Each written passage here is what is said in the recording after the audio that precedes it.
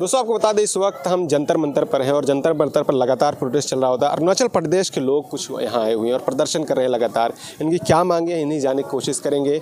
और क्या सर क्या मामला है आपका? यहाँ प्रदर्शन करने क्यों आए हैं आप इतनी दूर से? हम लोग का इशू है आरपीसी जो निवास प्रमाण पत्र। जी। तो ये जान जाने वाला नवंबर महीना में 2022 तो चौदह तारीख को हम लोग का जो निवास प्रमाण पत्र है अरुणाचल सरकार वो हम लोग को कैंसिल कर दिया। कैंसिल कर दिया? हाँ। तो अभी हम लोग को जो बेसिक्स डॉक्यूमेंट है एडुकेशन में चाहिए होता है अगर हम लोग फौज में जाने के लिए रेडी होता है तो वो बेसिक्स डॉक्यूमेंट हम लोग को चाहिए। तो वही हम लोग को मतलब देने के लिए डील नहीं है। तो कैंसिल कर दिया चौदह तारीख को अरुणाचल गवर्नमेंट का द्वारा। अरुणाचल में भारतीय जनता पार्टी की सरकार है? हाँ हाँ। हाँ है। आप आप किस समाज से आते हैं? किस समाज से? मतलब किस कास्ट से? हिंदू है हम हिंदू समाज से है। हम लोग सनातन धर्म को मानने वाला है।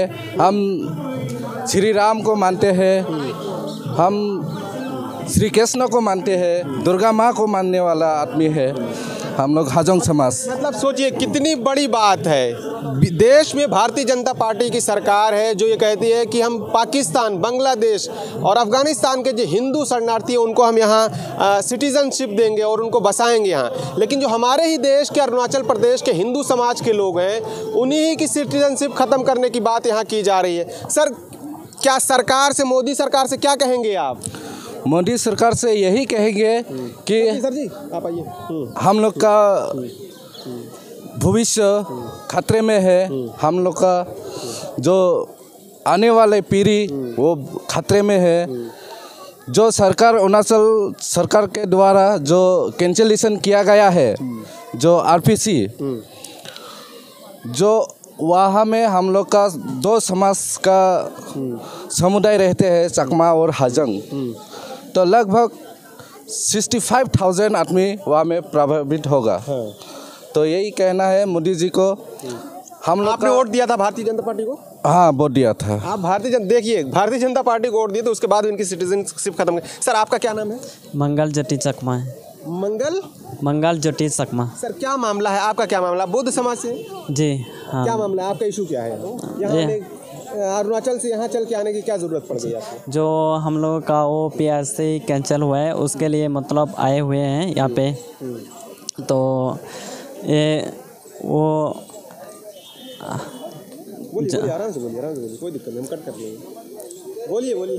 सिटीजनशिप आपकी खत्म कर दी गई जी जी जी। हैं? जी। तो सर मोदी सरकार है आप वहाँ अरुणाचल में किसको वोट किए थे? मोदी सरकार को या कांग्रेस को किसको वोट किए मोदी सरकार को किए थे। मोदी सरकार को वोट किए जी। उसके बाद भी आपकी सिटीजनशिप खत्म कर दी गई। जी। अच्छा तो क्या कहना चाहेंगे मोदी जी से? जी वो जो हम लोगों के जो प्या R R P S C मतलब सीन लिए थे, वो हम लोगों को ज़रूरत होता है पढ़ाई करने के लिए और चौथा चौथा सा वो मतलब आर्मी वगैरह जाने के लिए ज़रूरत होता है। वो मतलब जल जल ही जल वो हम लोगों को दिया दिया जाए। चलिए, बहुत बहुत शुक्रिया। तो देखिए, आपको बता देंगे, ये बौद्ध समाज से हैं, इधर हिंदू समाज के करीब हज़ारों की संख्या में यहाँ लोग आए हुए हैं, जो ये मांग कर रहे हैं कि जो उनकी सिटीजनशिप है, उसको ख़त्म ना की जाए। ये भी हिंदू समाज से हैं। देखिए लगातार कहा जाता है कि भारतीय जनता पार्टी हिंदुओं की सरकार है, लेकिन हमारे जो देश के हिंदू हैं, अरुणाचल के, उनकी सिटीजनशिप को ख़त्म करने की बात की जा रही है। और भारतीय जनता पार्टी का यह दावा है कि हम जो बांग्लादेश, अफ़गानिस्तान, पाकिस्तान में जो हिंदू शरणार्थी हैं, उनको हम यहाँ सिटीजनशिप देकर जगह देंगे। लेकिन आप सोच सकते हैं कि हमारे देश में सब अरुणाचल प्रदेश में हो रहा है और वहाँ भारतीय जनता पार्टी का शासन है। आप क्या सोचते हैं? कमेंट्स बॉक्स में हमें ज़रूर बताएँ। शुक्रिया।